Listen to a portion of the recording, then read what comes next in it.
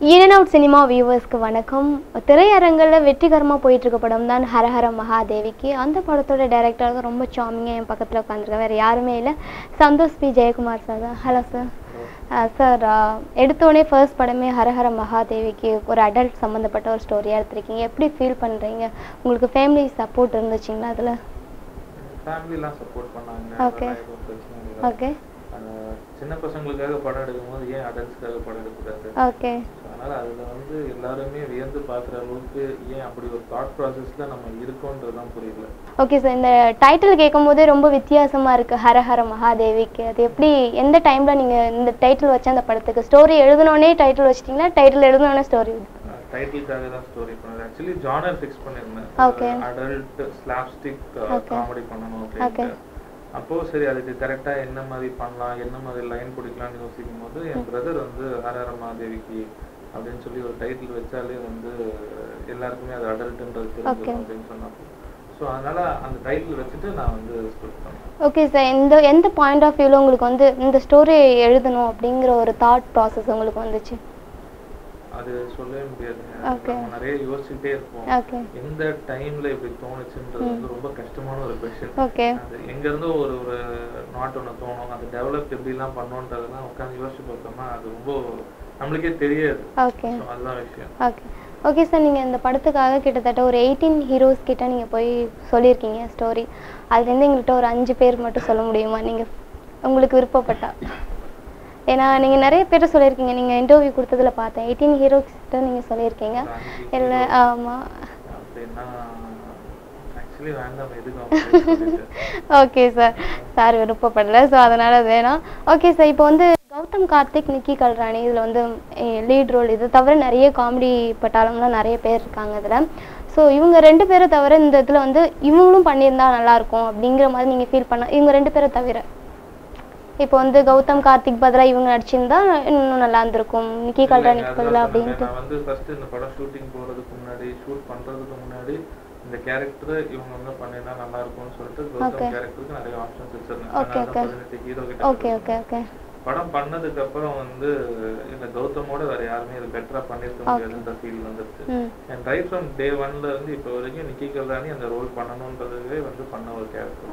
அதனால ஆப்ஷன்ஸ் இல்லை. யூத்தாக நினைக்கிறவங்க போய் படம் பார்க்கலாம் அப்படின்னு நீங்கள் சொல்லியிருக்கீங்க. அப்போ மற்றவங்களுக்கு நீங்கள் என்ன சொல்ல விரும்புறீங்க? யூத்தா யார் இப்போ வந்து ஒரு- ஃபார் எக்ஸாம்பிள் வந்து எங்க அப்பா வந்து அவர் யூத்தா நினைச்சுக்கிறாரு. ஓகே ஸோ அவர் போய் படம் பார்த்தாரு. ஸோ அவங்க இல்லப்பா நான் எனக்கு வயசாயிடுச்சு. நான் வந்து இதெல்லாம் பண்ணா என்ஜாய் பண்ண மாட்டேன். ஓகே. இந்த மாதிரி அடல்ட் காமெடிலாம் எனக்கு செட் ஆகாதுன்னு நினைக்கிறவங்க அவங்க போனாங்கன்னா அவங்க டிசப்பாயிண்டிங்காக தான் இருக்கும். ஸோ அதனால அவங்களா பார்க்க வேண்டாம் அப்படின்றதான் சொன்னது. ஓகே சார் இப்போ வந்து ஒரு டேரக்டர்னா பேசிக்காக அவர் சொல்கிற ஒரு வார்த்தை என்னன்னா ஃபேமிலியோட போயிட்டு பார்க்கணும் எல்லாருமே அப்படின்னா இது வந்து நீங்கள் அடல்ட் மட்டும் சொல்லியிருக்கீங்க. ஃபேமிலியோட போய் பார்க்காதீங்கன்னு சொல்றேன். ஏன்னா ஃபர்ஸ்ட் டேரக்டர் நீங்கள் ஒருத்தர் தான் வந்து அடல்ட் போய் என்ன கண்டென்ட் எடுத்திருக்கோம் அது யாரு எப்படி போய் பார்க்கணுன்ற ஒரு விஷயம் இருக்கு. ஓகே நான் வந்து சும்மா ஒரு அடல்ட் காமெடி எடுத்துட்டு எல்லா ஃபேமிலியோட போய் பாருங்க குடும்பமான படம் எடுத்திருக்கேன்னு யாரையும் வந்து தப்பா வந்து எஜுகேட் பண்ண விருப்பப்படுறேன் ஓகே ஸோ இது என்ன கண்டென்ட் யாரை மையப்படுத்தி எடுத்தோம் யாரு வந்து ரசிக்கிறதுக்காக எடுத்தோமோ அவங்க கரெக்டா அந்த போய் படத்தை இந்த படமும் அவங்களுக்கு போய் சேரணும் அவங்களும் கரெக்டா இந்த படத்துக்கு வரணும். அதனால ஃபேமிலியோட கண்டிப்பா பார்க்காதீங்க ஓகே ஃபேமிலில இருந்து தனித்தனியா போய் ஃப்ரெண்ட்ஸோட பாருங்க. ஓகே தியேட்டர்ல எல்லாருமே என்ஜாய் பண்றாங்க. பார்க்காதவங்க நீங்களும் என்ஜாய் பண்ணுவீங்க. சார் படத்தில் வந்து நிறைய கண்டினியூஸ் ஷார்ட்ஸ்லாம் நிறைய வச்சுருக்கீங்க. அது கொஞ்சம் டஃப்பாக இருந்திருக்கும். அது நீங்கள் எடுக்கும்போது கண்டினியூஸாக எடுக்கும்போது. அது எப்படி இருந்துச்சு? அந்த எக்ஸ்பீரியன்ஸ் இருந்து எப்படி இருந்தது உங்களுக்கு? நீடே எந்த ஷூட்டிங்னாலுமே அது கஷ்டம். தான் எந்த ஷூட்டிங்குமே ஈஸி கிடையாது.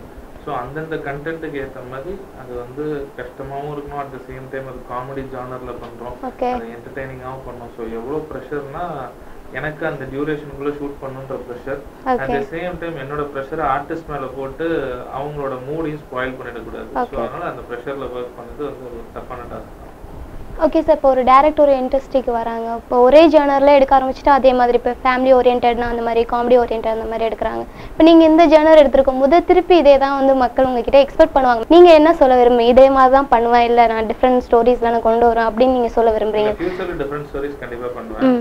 இப்போ அடுத்த படம் வந்து இருட்டறையில் முரட்டு குத்துன்னு ஒரு படம் பண்றேன். அது வந்து இதே மாதிரின்னு சொல்ல முடியாது. அது ஒரு அடல்ட் ஹாரர் காமெடி இது வந்து ஃபுல் ஃபிளஷ்டு ஒரு ஸ்லாப்ஸ்டிக். காமெடி அது ஹாரர்ன்றனால அது ஒரு கான்செப்டோட ஒரு அடல்ட் காமெடி இருக்கும். ஓகே இப்போ இது ரிவ்யூ கொடுத்துருக்கவங்களாம் பார்த்தீங்கன்னா சிங்கிள் டபுள் மீனிங்கே கிடையாது. எல்லாமே சிங்கிள் மீனிங் தான் அப்படிங்கிற மாதிரிலாம் கொடுத்துருக்காங்க. ஸோ அவங்களோட பல்ஸ் தெரிஞ்சு தான் இந்த மாதிரியான ஒரு ஸ்கிரிப்ட் எடுத்தீங்களா? யங்ஸ்டர்ஸோட பல்ஸ் தெரிஞ்சு தான் அதாவது வந்து சினிமால இருக்க எந்த ஒரு டைரக்டருமே ஓகே ரிவ்யூவர்ஸை சாட்டிஸ்ஃபை பண்ணணும் படம் எடுக்கிறது இல்ல ஓகே எல்லாருமே ஆடியன்ஸை சாட்டிஸ்ஃபை பண்ணணும் தான் படம் எடுக்கிறோம். ஓகே சார் ஸோ ஆடியன்ஸை சாட்டிஸ்ஃபை பண்ற விஷயம் என்னன்றது அந்த பல்ஸ் தெரிஞ்சு எடுக்கும்போது அந்த படம் ஹிட் படம். படம் ஆறது ஸோ எனக்கு தெரிஞ்சு ஆடியன்ஸ்க்கு இது பிடிக்கும்னு நினைச்சு எடுத்து அது ஒர்க் அவுட் ஆயிருக்கு. ஓகே சார் இப்போ இது வந்து ஹரஹர மகாதேவிக்கு வந்து ஏ சர்டிஃபிகேட் கொடுத்துருக்கீங்க இல்லையா ஸோ இப்படி தான் கொடுத்துருக்காங்க. ஓகே சாரி சென்சார் கொடுத்துருக்காங்க. ஸோ அப்படி இருக்கும்போது நீங்கள் வந்து கேர்ள்ஸ் வந்து வல்கராக காமிக்கல. ஸோ அது வந்து ரொம்ப ஒரு நல்ல விஷயம்னே சொல்லலாம்.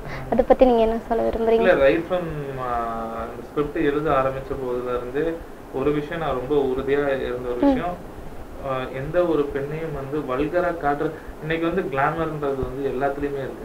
அதாவது வந்து இப்போ ஒரு ஷாப்பிங் மால் போனோம்னா கூட ஷார்ட் க்ளோத்ஸ் அதெல்லாம் வந்து ஒரு ட்ரெண்டா மாறிடுச்சு. ஸோ வந்து க்ளோத்ஸ் வைஸ் கிளாமர்ன்றதெல்லாம் வந்து நம்ம அந்த காலத்துல தாண்டி வந்துட்டோம். ஒரு பெண் அப்படின்றவங்கள வந்து டீக்ரேட் பண்ணி பேசக்கூடாது. அதுதான் வந்து நான் மெயினா எடுத்துக்கிட்ட டார்கெட் ஓகே ஸோ எதுவுமே வந்து இந்த பெண்களை பத்தி தப்பா பேசிட்டு அதனால ஒரு காமெடி அதனால ஒரு ஹியூமர் வரக்கூடாதுன்னு முடிவு பண்ணிருந்தேன். படத்தில் வந்து தலை தளபதி அதுக்கப்புறம் பார்த்தீங்கன்னா சிம் சிம்பு அதுக்கப்புறம். சூப்பர் ஸ்டார் எல்லாருமே வந்து ரெஃபரன்ஸ் கொடுத்துருக்கீங்க. அதை பற்றி நீங்கள் என்ன சொல்ல விரும்புறீங்க? அதுவும் ஆடியன்ஸ் பல்ஸ் தானே. இல்ல அது எல்லா ஆடியன்ஸுக்கும் அது வந்து கொஞ்சம் அது ஓகே. தலைவர் ஃபேன்ஸ் அது கை தட்டுவாங்க. Okay sir. Little super star fans கை தட்டுவாங்க. அதனால வந்து ஒப்பனா ஏன் மற்றவங்க சொல்றதுக்கு நானே சொல்றேன். அதெல்லாம் ஓசி கிளப்ஸ் ஏன் அடல்ட் மூவிக்கு நம்ம ஏன் கதை முக்கியத்துவம் கொடுக்கணும் நீங்க ஃபீல் பண்றீங்களா? இம்பார்ட்டன்ஸ் கொடுக்கலான்ட்டு. அதாவது ரெண்டு விஷயம் இருக்குங்க. ஒண்ணு வந்து ஒரு படத்துக்கு கதையை எடுத்துட்டு அந்த கதையை பிராண்ட் பண்ணி. அதுக்காக படம் பண்றது. இன்னொன்னு வந்து நம்ம எடுத்திருக்க கண்டென்ட் அடல்ட் காமெடி என்டர்டெய்னர் நான் எடுத்திருக்க கண்டென்ட் எல்லாரையும் என்டர்டெயின் பண்ணணும்ட்டு ம். ஸோ அந்த என்டர்டெயின்மெண்ட் கதை இருக்கு இல்லைன்றது ரெண்டாவது. என்டர்டெயின்மெண்ட் இருக்கான்றது தான் மெயின் அண்டர்லைனிங் பாயிண்ட் ஸோ நான் வந்து கதை இருக்கு. இதுல ஒரு கருத்து இருக்கு வந்து பாருங்கன்னு சொல்ல வந்து பாருங்க நீங்க என்டர்டெயின் ஆவீங்கன்னு தான். சொல்லுவேன். ஸோ எனக்கு வேண்டிய விஷயத்த நான் வச்சிருக்கேன் ஓகே சார் இப்போ நிறைய பேருக்கு டபுள் மீனிங்னா என்னன்னே தெரிஞ்சிருக்காது. ஸோ இந்த படம் பார்த்து பாதி பேருக்கு வந்து அதுவும் புரிஞ்சிருக்கும். ப்ளஸ் வந்து இந்த